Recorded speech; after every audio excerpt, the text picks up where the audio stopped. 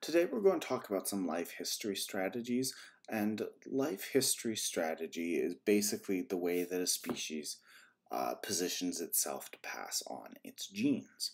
We've already talked about R-selected and K-selected species before, but we can talk about them not just in terms of the graph, but we can talk about them in how they try to grow their populations.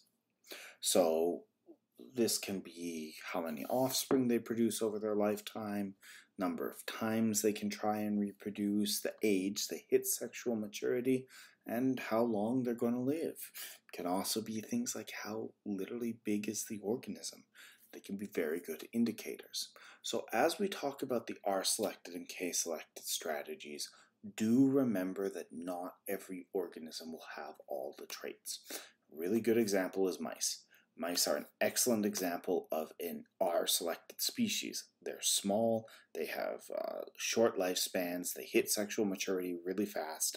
Their gestation period is really short. Some mice are only pregnant for 14 days. And they produce fairly large litters.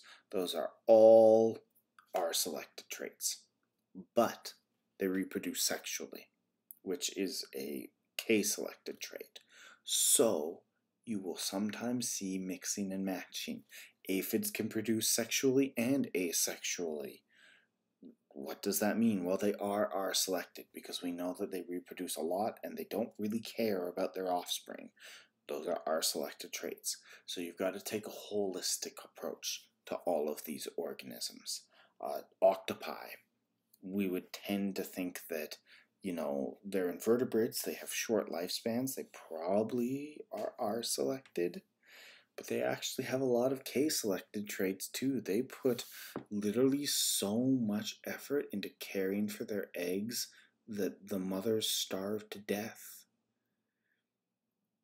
They have a lot of R selected traits, but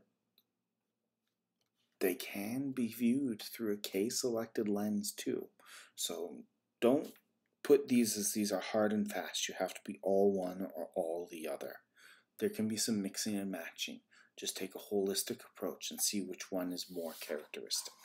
So, with that disclaimer out of the way, R selected organisms are organisms with high growth rate and a J-shaped curve.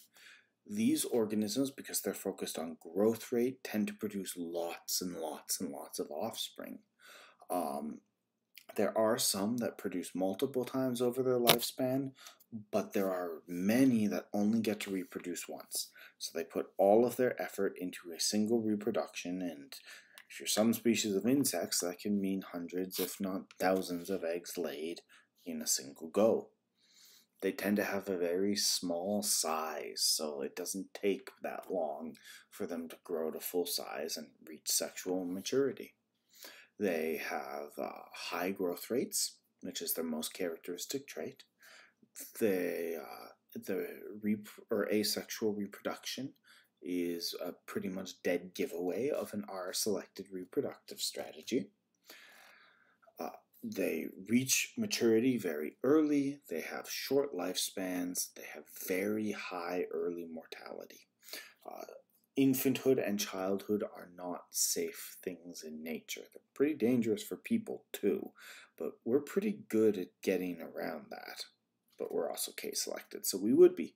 Um, but for R selected organisms, there's a massive die off of infants and young.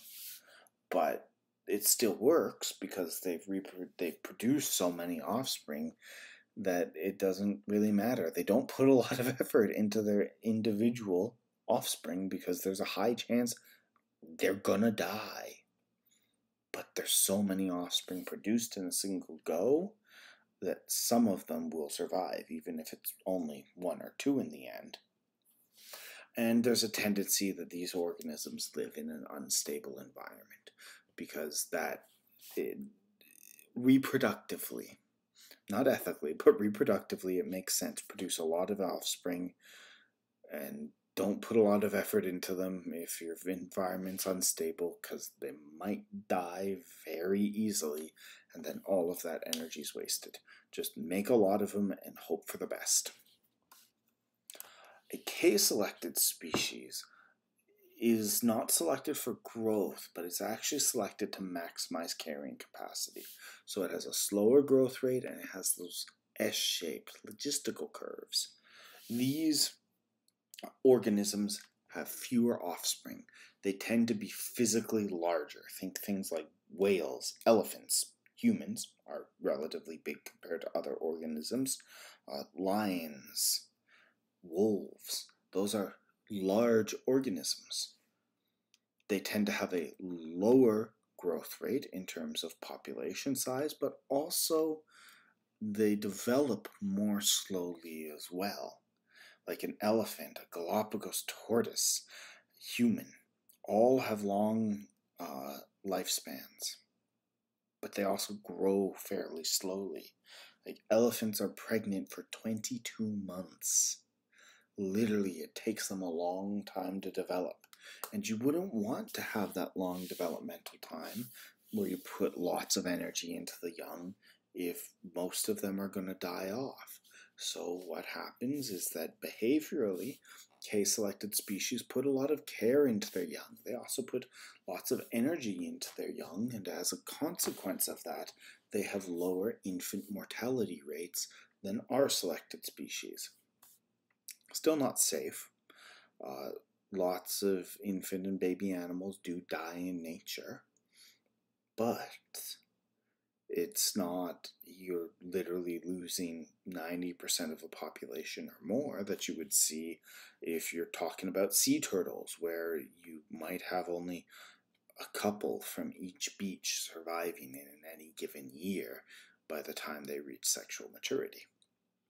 Uh, sexual reproduction is characteristic of K selected species because sexual reproduction literally takes longer because you have to have a gestational period afterwards instead of budding off a new copy of yourself.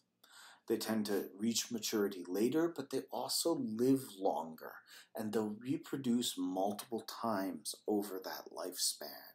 So they can continue just making a couple babies at a time, putting lots of energy into them and making sure they survive. And then when they're ready, if they're ready, to make new ones, they can move on to doing that. And they tend to live in stable environments, which makes sense because if you're going to take a lot of time and energy to raise your offspring, you don't want them dying off to random environmental fluctuations. So, again, remember not every R selected and not every K selected species is going to tick off every single box in this. But in general, these are the characteristics you want to look for. And look for whichever one is more prevalent if you're trying to figure out if it's R selected or if it's K selected.